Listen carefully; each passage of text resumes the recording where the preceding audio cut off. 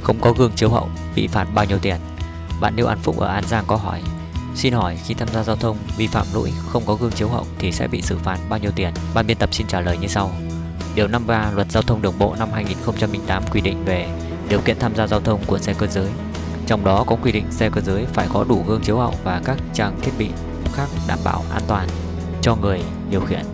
Nếu vi phạm sẽ bị xử phạt theo quy định tại Nghị định 100 2019 cụ thể như sau. Đối với người điều khiển xe ô tô bao gồm cả dơ móc hoặc sơ bi dơ móc được kéo theo và các loại xe tương tự xe ô tô phạt tiền từ 300 đến 400 nghìn đồng đối với người điều khiển phương tiện không có gương chiếu hậu. Đối với người điều khiển xe mô tô, xe gắn máy kể cả xe máy điện, các loại xe tương tự xe mô tô và các loại xe tương tự xe gắn máy phạt tiền từ 100 đến 200 nghìn đồng đối với người điều khiển xe không có gương chiếu hậu bên trái người điều khiển hoặc có nhưng không có tác dụng